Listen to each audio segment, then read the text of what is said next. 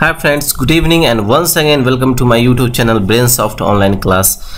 आज के इस स्पेशल वीडियो लेक्चर में आप सबका बहुत स्वागत है। Spelling mistakes in English part two यानी इससे पहले पार्ट वन का एक वीडियो लेक्चर ऑलरेडी अपलोडेड है। उसे आप जाके प्लेलिस्ट से देख सकते हैं। और देख क्या सकते हैं आप इस वीडियो को देखने से पहले ज़रूर उस वीडियो को आप देख ले। Part one spelling mistake in English part one को देखें फिर पार्ट टू को देखें तब तो आपको ज़्यादा समझ में आएगा। क्योंकि जो इसके इस बेसिक्स हैं, जो मिस्टेक के जो गुंजाइश होती है, जहाँ पे ज़्यादा गलती करते हैं, इसके सारे बेसिक्स रूल के बारे में मैं ऑलरेडी उस वीडियो में डिस्कस कर चुका हूँ। यानी इसके जो स्पेशल मिस्टेक इन इंग्लिश का जो वीडियो लेक्चर पार्ट वन है, उसे आप ज़रूर देखिए। इस वीडियो में हम ऑलरेडी डिस्कस कर चुके हैं कि गलती क्या होती है, कैसी होती है, क्या इसके फिक्स रूल हैं। यस फ्रेंड इसके फिक्स रूल है।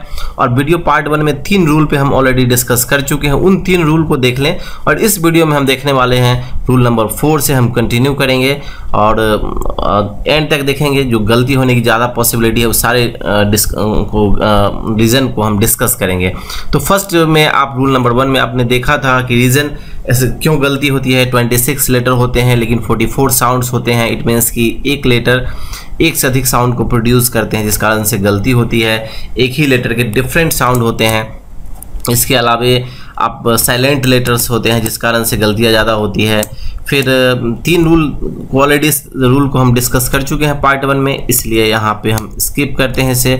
और चौथे रूल से रूल नंबर फोर से हम यहाँ डिस्कस करेंगे। इन सारे रूल का in detail discussion video part one में कर चुके हैं। इसलिए मैं बार बार आपसे रिक्वेस्ट कर रहा हूँ कि आप वीडियो पार्ट वन को देखें। तो तीन रूल तक हम देख चुके हैं। चलिए आज स्टार्ट करते हैं रूल नंबर फोर जो रूल नंबर फोर है वहाँ से भी आज वीडियो देखना स्टार्ट करते हैं। चलिए तो आज का वीडियो स्टार्ट होता है रूल नंबर फोर से। तो इससे पहले वीडियो में देखा था आपने कि अगर किसी एक रूल था कि किसी वर्ड के लास्ट में जैसे कोई नाउन है अगर उसमें हम आईएनजी यूज़ करते हैं या कोई वर्ड है जिसमें आईएनजी यूज़ करते हैं तो कोई वर्ड है आ, उसके लास्ट में कंसोनेंट है और उसके पहले जस्ट पहले एक कोई वॉवेल है। ध्यान से समझिएगा।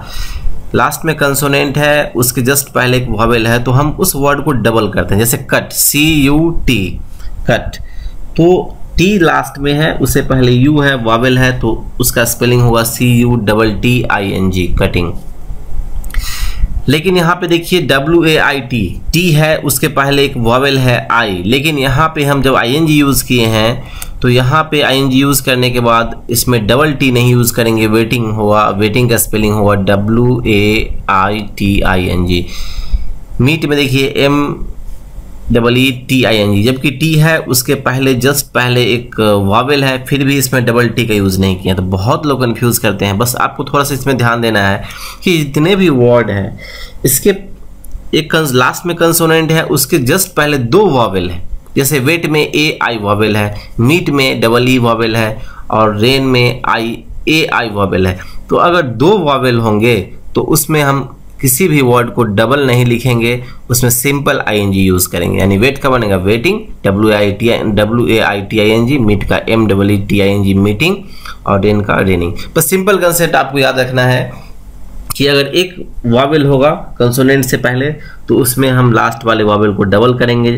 जैसे रनिंग आर यू एन तो एन है, उससे पहले यू एक ही वावेल है तो R U N N I N G running का स्पेलिंग होगा। लेकिन यहाँ पे दो वावेल है कंसोनेंट से पहले, इसलिए इसमें स्पेलिंग को हम डबल नहीं करेंगे। आई होप आपको समझ में आ गया होगा। चलिए नेक्स्ट रूल को देखते हैं। Rule number five rule number five है कि अगर किसी वर्ड के लास्ट में आई ई है D I E die T I E tie और एल आई ई लाई तो उसमें जब हम आई एन जी का यूज़ करते हैं तो आई ई e को वाई में बदल देते हैं और उसका सिंपल स्पेलिंग आई ई की जगह पे वाई लिख के उसमें आई एन जी लगाएँगे। L I E plus I N G जब यूज़ करेंगे उसमें तो उसका स्पेलिंग होगा L Y I N G उसी ढंग से डाइंग का D Y I N G, I E को आपको वाई में कन्वर्ट करना है। अगर बी फोर में यूज़ करेंगे तो आई ई की जगह पे वाई यूज़ करना है। उसी ढंग से टाई का स्पेलिंग क्या हो जाएगा? टी, यहाँ पे स्पेलिंग मिस्टेक है। यहाँ पे क्या होना चाहिए था? टी आई ई की जगह पे T Y I N G होना चाहिए tying T Y I N G, ये होना चाहिए। और लाई का होगा L Y I N G lying ये भी बहुत लोग इसमें कंफ्यूज करते हैं, बहुत लोग गलती करते हैं। तो सिंपल रूल है, इसे आप इस कंसेप्ट को अपने माइंड में रखें। नेक्स्ट रूल देखते हैं। रूल नंबर सिक्स अच्छा अगर लास्ट में आई आई ई है तो उसे हम वाई में कन्वर्ट करते हैं, लेकिन आपको याद रखना है, इसमें लोग कन्फ्यूज़ करते हैं। लास्ट में अगर वाई है तो कुछ नहीं करना है, उसमें अगर आई एन जी यूज़ करते हैं तो आई एन जी का ही यूज़ होगा, उसमें कोई वर्ड रिपीट नहीं होगा, किसी वर्ड को दूसरे वर्ड में रिप्लेस नहीं करेंगे सिंपल क्राई है तो क्राइंग हो जाएगा स्टडी है तो स्टडिंग हो जाएगा ट्राई है तो ट्राइंग होगा। इसमें लोग कंफ्यूज करते हैं क्योंकि जब इसमें तो अगर हम वी फोर का यूज़ करते हैं तो आईएनजी यूज़ करते हैं, लेकिन इसको अगर हम प्लूरल बनाते हैं, जैसे क्राई है, इसका प्लूरल बनाते हैं तो वाई को आई में बदल के ई एस लगाते हैं तो वो क्राइज हो जाएगा स्टडी स्टडीज़ हो जाएगा ट्राई ट्राइज हो जाएगा T R I E S तो इसका आप थोड़ा सा ध्यान रखेंगे। लेकिन भी फोर में सिंपल आईएनजी लगा के बनाते हैं। आई होप कि यहाँ तक आपको बिल्कुल समझ में आ गया होगा। नेक्स्ट रूल आपको मैं बता रहा हूँ जो बहुत ही इंपॉर्टेंट है। थोड़ा सा इसमें आपको समझना पड़ेगा। अब देखिए इस रूल में डबल ई साउंड यानी कि बड़ी ई e का साउंड जो है डबल ई e लिखने का मतलब यहाँ पे बड़ी ई e, ये लंबी ई का जो उच्चारण जब हम करते हैं साउंड में तो वहाँ पे क्या होता है कि आई ई पहले आएगा। लेकिन सी अगर वर्ड आ गया तो सी के बाद आई ई नहीं आएगा सी के बाद ई आई आएगा। जैसे ऊपर वाले सेंटेंस वर्ड में आप देखिए, जो ए में लिखा हुआ है पीस चीफ पीस पीस बड़ी ई का साउंड है। Chief field grief diesel achieve तो अब इसमें देख सकते हैं कि आई ई है ई आई नहीं है। चीफ में क्या है? आई ई है। फ़ील्ड में क्या है? आई ई है। यानी जहाँ पर भी आई ई का यूज़ हुआ है, वहाँ पे ई आई नहीं आई का यूज़ करेंगे और इसका जो उच्चारण होगा, वो बड़ी ई का उच्चारण होगा, जैसे पीस पिस ऐसा नहीं बोलेंगे हम पिस नहीं बोलेंगे। क्या बोलेंगे? पीस चीफ ऐसा फ़ील्ड फ़ील्ड ग्रीफ मतलब बड़ी ई का उच्चारण होगा। तो ध्यान में यही रखना है कि जब बड़ी ई का उच्चारण होगा तो आई ई होगा। लेकिन अगर वर्ड में सी वर्ड आ गया तो सी के बाद आई ई यूज़ नहीं करेंगे, सी के बाद ई e आई मतलब वो ठीक उल्टा हो जाएगा। जैसे सेकेंड वाले बी में आप देखिए डी ई सी सी आ गया, इसके बाद आई ई नहीं यूज़ हो गए ई आई यूज़ हो रहा है। डिसीव रिसीव बड़ी ई e का साउंड है, लेकिन सी आ गया, इसीलिए आई ई यूज़ नहीं करके ई आई यूज़ करेंगे। सेलिंग तो आपको इतना समझना है कि अगर बड़ी ई e का साउंड होगा तो आई ई का यूज़ करना है। लेकिन अगर सेंटेंस में, अगर वर्ड में सी वर्ड आ गया तो आई ई की जगह पे आपको ई आई यूज़ करना है। आई ई की जगह पे ई आई यूज़ करना है। लेकिन ऐसा मानना कि हमेशा आई ई ही यूज़ होगा और सी के बाद ई आई ही यूज़ होगा। गलत होगा। क्योंकि मैं बार बार बोल रहा हूँ कि बड़ी ई के साउंड में बड़ी ई का जब उसका साउंड आएगा उस केस में ये दो रूल आपको आ, याद रखना है यही रूल होगा। लेकिन जब साउंड छोटी ई का आएगा तो वहाँ पे सी के बाद भी आई ई यूज़ हो सकता है। जैसे सी में लिखा हुआ है प्रोफिशियंट प्रोफिशियंट यहाँ पे छोटी ई का साउंड है प्रोफिशियंट साइंटिफिक साइंटिफिक साइंटिफिक में छोटी का साउंड है तो आप देख सकते हैं सी के आने के बाद भी, जैसे प्रोफिशियंट में P R O F I C C के आने के बाद भी आई ई यूज़ हुआ है। अगर यहाँ पे बड़ी ई होता तो ई आई होता आई यूज़ हुआ है। साइंटिफिक साइंटिफिक में S C I S C C use हुआ, उसके बाद ही आई यूज़ हुआ। तो आई होप कि ये कंसेप्ट थोड़ा सा आपको प्रैक्टिस की ज़रूरत पड़ेगी, लेकिन सिंपल आप ध्यान में रखें कि बड़ी ई e का साउंड आएगा तो आई ई यूज़ करेंगे, अगर सी आ गया तो ई आई यूज़ हो जाएगा, लेकिन अगर साउंड छोटी ई e का होगा तो वहाँ पे सी के बाद भी आई ई यूज़ हो सकता है। तो आई होप कि आपको ये सारा रूल समझ में आ गया होगा, और आपको ये बहुत अच्छा लगा होगा ये वीडियो आई होप कि बहुत आप पसंद किए होंगे।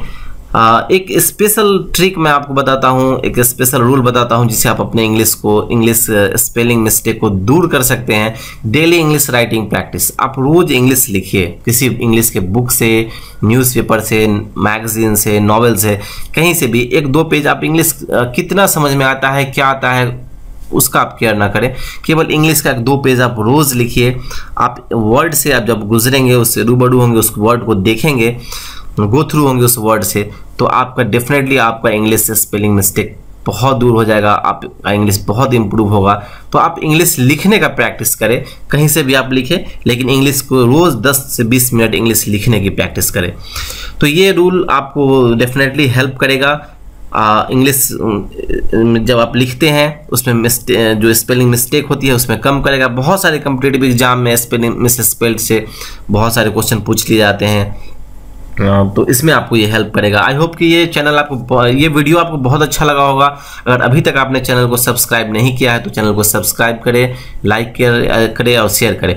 और मैं अगला वीडियो एक बनाने जा रहा हूँ, उसमें ये साउंड से रिलेटेड बना जा, बनाने जा रहा हूँ, जिससे बहुत लोगों को कन्फ्यूज़न होता है कि कहाँ पे सी का उच्चारण स होगा और कहाँ पे सी का उच्चारण क होगा। For example C century century में C N T U R Y century में स का उच्चारण होता है।